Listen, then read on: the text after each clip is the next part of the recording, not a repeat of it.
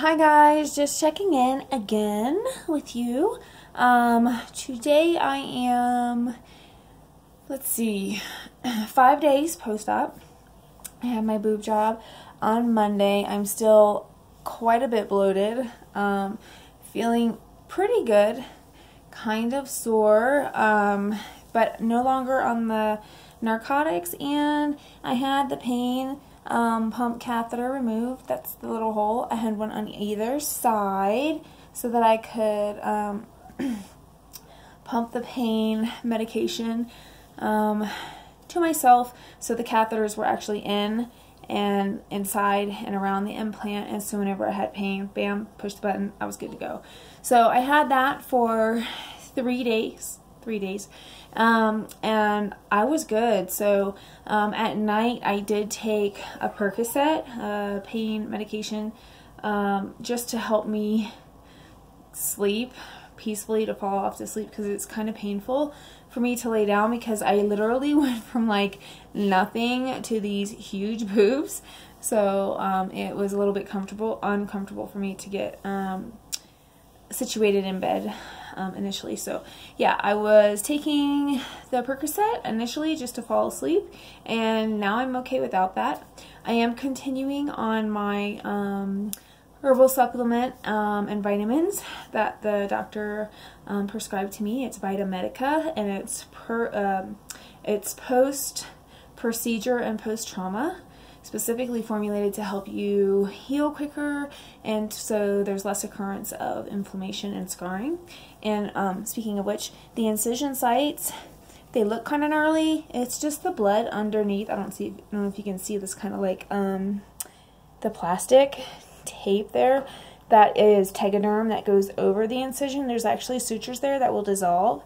And then after two weeks, um, at my two week checkup, they'll remove those as well.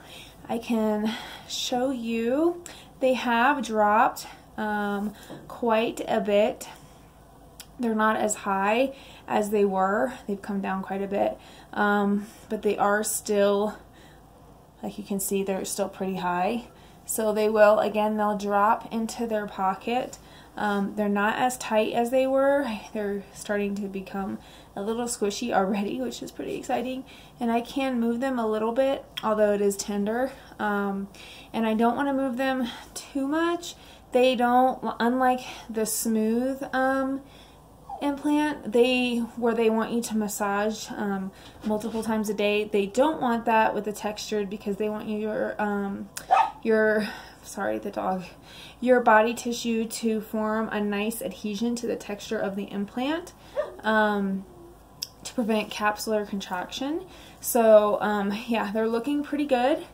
They're dropping a little bit, I think a little more every day.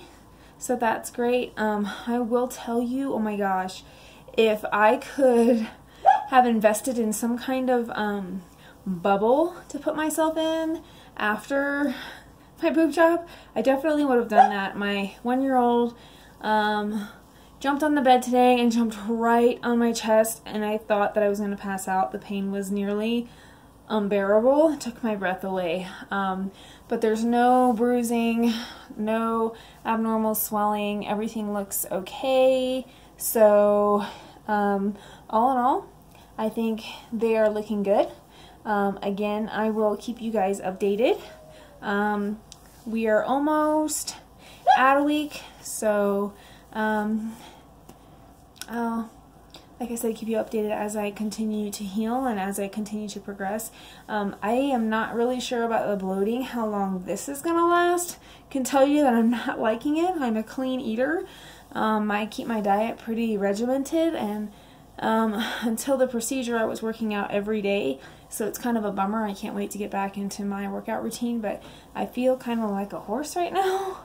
Um, pretty bloated but um, that's otherwise, other than a little bit of sensitivity here um, at the incision site, um, and the fact that I'm bloated, I feel great. And the best part, I can wear halter tops and t-shirts without a bra. So very excited about that too. So if you guys um, have any questions, uh, feel free to comment um, below and I will be happy to answer this for you.